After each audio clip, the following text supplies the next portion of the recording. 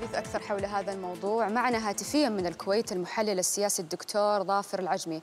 نرحب فيك دكتور ظافر. إذا بداية هل باعتقادك أن نهاية قاسم سليماني وتعيين إسماعيل قائني أو قائاني خلفا لسليماني هي بداية لنهاية؟ طبعا نحكي عن نهاية الدور الإيراني في مناطق النزاع.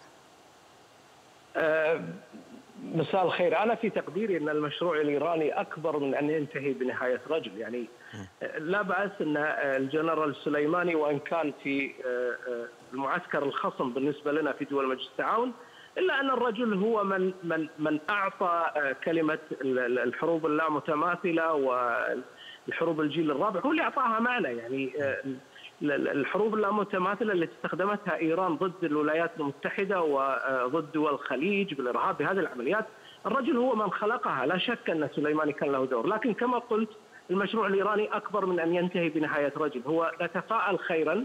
وبنفس الوقت يعني يجب أن لا نتجاوز أن هناك سيناريوهات رد محتملة من قبل إيران. يعني إيران ستواصل نهجها أول خطوة هو رد الاعتبار لما حدث. يعني ما حدث ليس أمر يمكن تجاوزه من الشارع الإيراني. فيجب أن يكون هناك موقف من النظام لحفظ ما النظام. إذا عندك وقت أنا أقدر أقول لك السيناريوهات المحتملة طيب يا ليت. يعني أين واين وكيف سيكون هذا الرد؟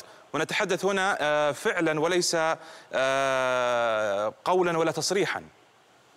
أنا في تقديري أن السيناريوهات المحتملة لإيران يعني لا تخرج من ثلاثة، السيناريو الأول أنها تبلع ما حدث مثل ما سوى حزب الله بمقتل المغنية، بما سوى بالهجمات اللي تعرضت لها في سوريا وتتجاهل الموضوع وتكرر علينا كلمة سنحتفظ بحق الرد في المكان والزمان المناسب، هذا السيناريو الأول، السيناريو الآخر لا يكون هناك نوع من التفاهم أو ال understanding من الطرفين الأمريكي والإيراني أن ما تم هو أن أن ما سيتم هو لحفظ وجه النظام. كان تقوم بمهاجمة سفن أو ناقلات أو حتى تتجاسر على بعض المصافي لكن لن تصل إلى القواعد الأمريكية، هذا السيناريو الثالث، السيناريو الثالث وهو الاسوء أن أن يتم تبادل الضربات بوتيره أعنف وتشمل المصالح الأمريكية على التي ترصع الساحل الشرقي من الغربي من الخليج العربي. أنا في تقديري أرجح انها لن تخرج عن ضربات إعلامية قد يعاد سيناريو الصيف الماضي بأن تهاجم سفينتين أو أو أو سفينتين تجاريتين أو مثل هذا القبيل أستبعد أن تهاجم إن شاء الله اي أي من المصافي النفطية الخليجية. قد تسبب ضربه قاصمة للحراك الشعبي في بغداد وفي لبنان. بما يخدم مكملاتها الاستراتيجية في هذه البلدان. لكن أن أن تكون حرب شاملة أنا أستبعد لانها لن تستطيع جر أمريكا لمثل هذه المواجهة لأن إيران هي التي تحتاجها وضبط النفس هو ما يمارسه الامريكان حاليا.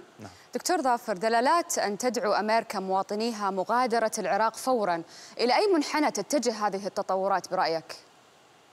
حماية أرواح المواطنين الأمريكيين هي أولوية في السياسة الخارجية الأمريكية، فال precaution أو أو الإجراء هذا إجراء اعتيادي يعني لا يمكن قراءته كمحرك رئيسي للأحداث أو أو كانديكيشن على أن هناك أمر جلل أكبر مما حتى الآن، أنا ما لا أريد أن أضع استدعاء أو أو طلب مغادرة الأمريكان كأنه مؤشر لحرب وشيكة، هو درجة من درجات الحذر الأمريكية في تقديري.